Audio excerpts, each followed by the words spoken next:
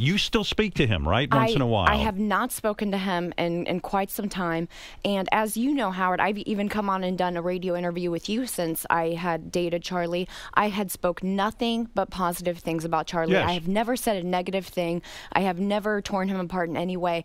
But I am so upset Angry. that I, I could I couldn't be more angry. I'm so shaking. I have been crying.